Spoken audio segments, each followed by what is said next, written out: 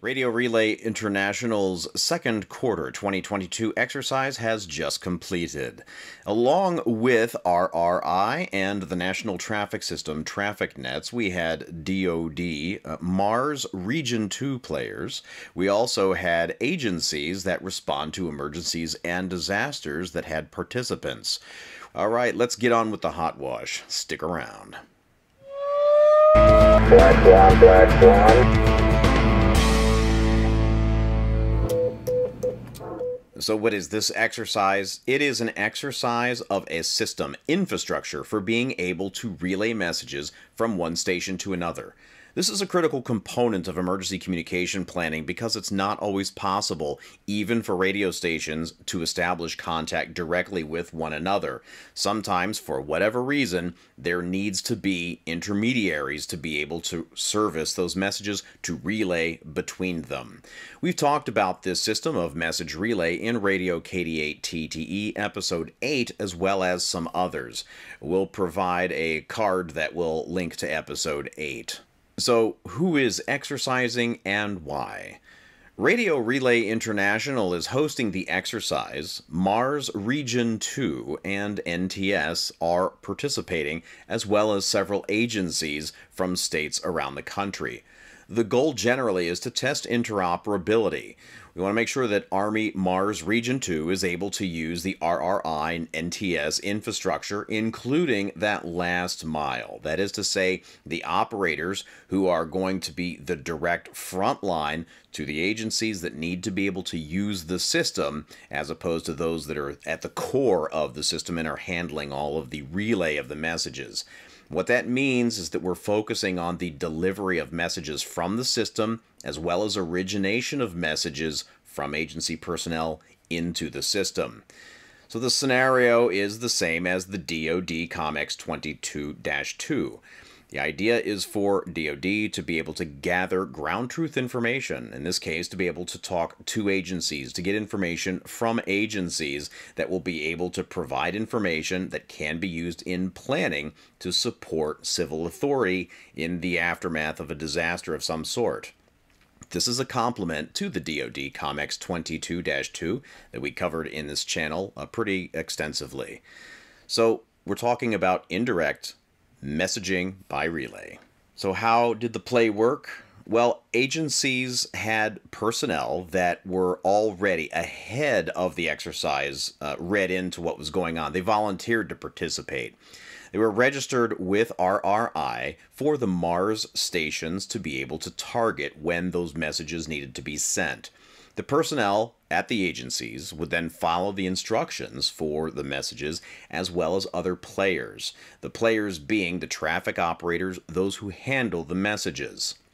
Instructions included for the messages to be delivered in the structure of the Incident Command System Form 213. That structure originating messages would take place uh, by the radio operator again on behalf of the agency when sending a response.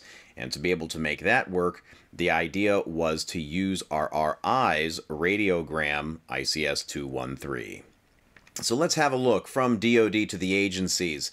DoD network would have an inquiry message and it would then be transferred to the digital traffic net gateway.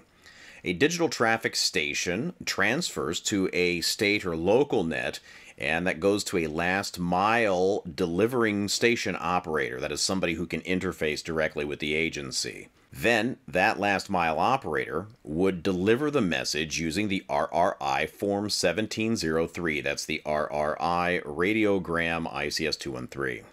So, from the agencies back to DoD we have the agency message wrapped in the radiogram ICS 213 that would allow it to be relayed from one station to another reliably.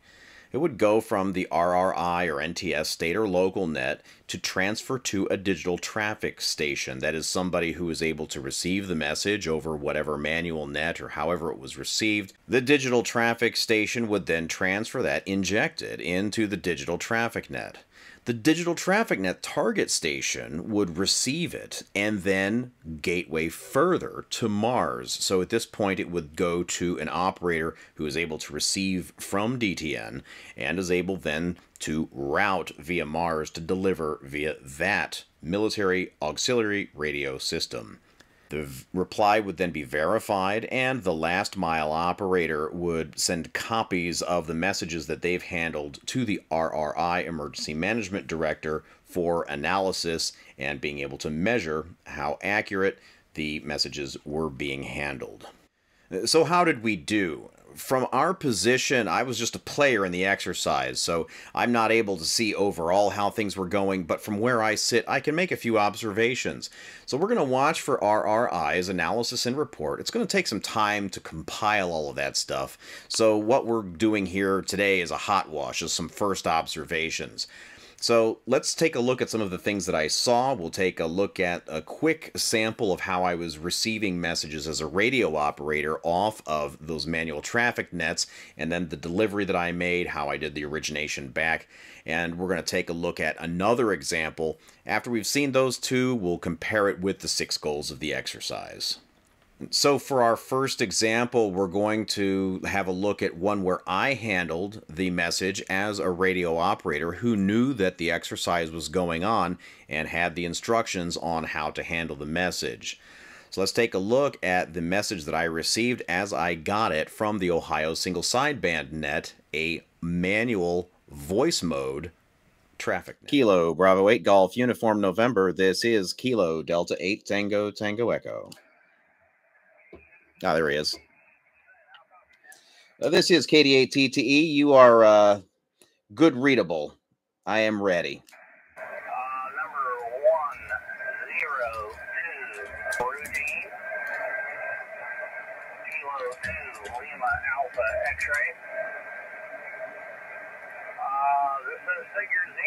But I know that's not correct. Uh, Oakland. Juliet. Mixed group one two zero zero zero. May uh, figure three. Going to initial Juliet.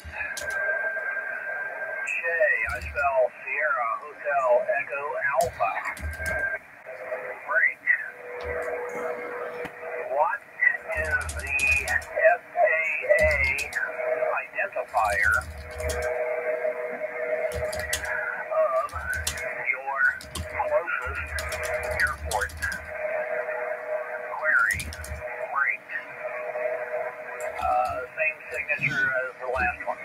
Roger 102. Once I had the message, I was preparing it for delivery within the parameters of the exercise using the RRI Form 1703 ICS. That is an ICS 213 with some extra stuff on there to be able to support relay by radio and to have the accountability needed for uh, handling by multiple operators we can see that I took that, I formatted it in the message uh, form. That's a PDF form that I actually filled all the components out. You'll see that the check uh, as it came through was problematic. Uh, so I made the correction and we have that in there. You'll notice that when we go down to the text, the body portion of the message, we actually have uh, nine groups. And that's because I turned the query word at the end into a question mark. So I'm sending this to an agency person. This isn't somebody who necessarily understands what radio messages are or what a radiogram is or how to handle it. So I try to make this look as normal as possible.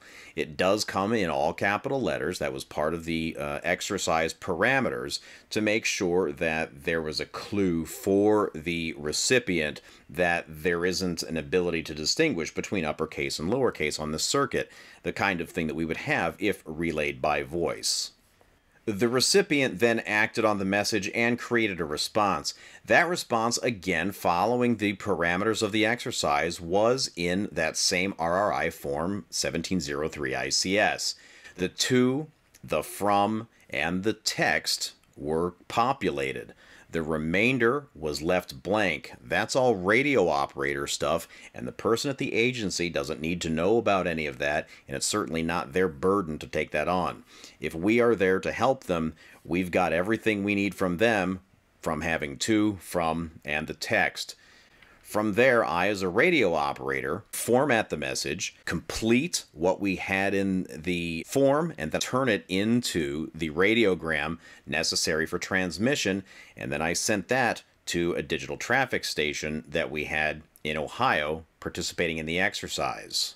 So let's take a look at a second example where the last mile operator was unaware that an exercise was going on. So this is just our normal volunteer operation, just what happens day to day when a volunteer in the National Traffic System, or RRI, is just handling traffic. In this case, we had delivery via email. The message had uh, the recipient's phone number and email, but there were several messages, so this operator chose to send them all in one email message. The email message had a little bit of an introduction and then the radiograms followed. So there's a few things that we can see. Number one is the date on this. At 11:39 in the morning, that means that this was delivered in less than one hour after the start of the net. These messages were sitting on this operator's station for only a few minutes. That's very good. It's timely. Now, when we go into the text, we see I received the following radiograms. Again, to an agency person who might not be a radio operator or know anything about radio communication, the question might arise well, what's a radiogram? Also, received this morning on the Ohio Single Sideband Net. Well, what's that? If you're not an amateur radio operator, if you're not operating in Ohio, you don't know what that is. And then 7.3, well, what's that? To a non radio operator, it's unclear what's supposed to be done with that. Uh, in fact, radio operators understand that 7.3 is shorthand for best regards, but that's a sort of code that uh, is not comprehensible to a non radio operator. Looking further down in the message, we see that delivery was made directly in the amateur radiogram format. A few interesting things about this. Uh, number one is that it's not ideal. This was not the intention of the exercise. So this would be some kind of a failure state, but it's not a bad failure state. It's comprehensible. We can still look at this and see what it is. There is also an obvious reply path. It came in via email. A response can be sent via email just as it came in, even though the text of the email message did not specifically say that you can route back through me. So one of the things that I notice is that we have handling instructions here. Handling instructions Charlie. This requires that at delivery, we need to originate a message back to the station of origin to let them know that delivery has been made. So the question comes in, did the delivery station follow the delivery instruction? Well, we don't know that from our perspective, but it's a noteworthy question. Also, when taking a look at the address E, we can see we've got a name and we have a title and we have an organization name and so on, but the fourth civil support and SU, it looks to me like there's truncation here. I don't really know what happened, but my guess is that somebody was using RRI's fillable PDF form to put all of that information into the addressee portion and simply ran out of space of what's visible on that PDF form. That meant truncation of the addressee. That's a problem, and if it is in fact a problem that comes from using the fillable PDF form, it's a very important finding. Now, a feature of this exercise, a very good one, is that the agency recipients knew that these messages were coming in. So something like this, if sent just out of the blue, might be a cause for concern, might be confusing, might be ignored. On this operation, the agency personnel were aware these were coming. I briefed the agency personnel so that they would have instructions in order to participate, even if the delivering the last mile operator did not provide those instructions as indicated uh, by the uh, parameters of the exercise. So the agency member read the message, followed the instructions, and created a reply. Again, because he was briefed, he used the radiogram ICS 213 form, completed to, from, and the text, and then sent via email back to the station that sent the message in the first place. So, did the last mile station know how to handle the reply? This was somebody who was apparently not aware that the exercise was going on. Uh, how did the uh, reply look when it was actually formatted and handled? We're just going to need to wait and see. That's a good part of the reason why we're exercising. So, some things that we can see. It's pretty clear that not all traffic handlers got the message about the exercise and knew what to do with it the delivery that we observed that was in radiogram format it's not great but it's not a disaster.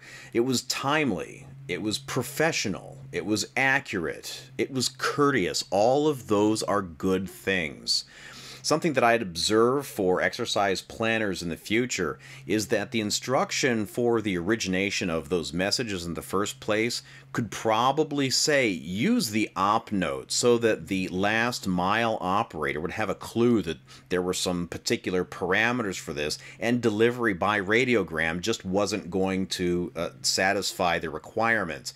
So not everybody could make the two training sessions that were offered. Not everybody eh, got the information about how to do the delivery, and that op note could have gone a long way to avoid having some of those uh, unaware operators just going about the business.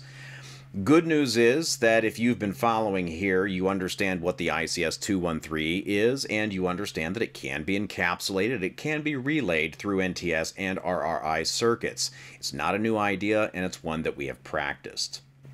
So if we take a look at the six goals for the exercise, the first one, testing the message transfer from DoD MARS Region 2 into the RRI digital traffic net. That's not something that we've got visibility into from where I sit, so we're not going to comment on that. The second is to test the message transfer from the RRI digital traffic station gateway to the section nets and the local traffic nets. I didn't observe that directly either, so we're going to skip past that. What I did see at number three was to train the radio volunteers, and that was clearly something that didn't happen uniformly. Uh, we're going to have to wait for RRI's report to see how many participated and what that meant in terms of the uh, intention of the delivery uh, being followed. Number four, ensuring that the operators were providing the last mile delivery functions with the correct message forms. We got some variable performance on that. Again, some got the message, were able to follow, others didn't get the message and did not follow.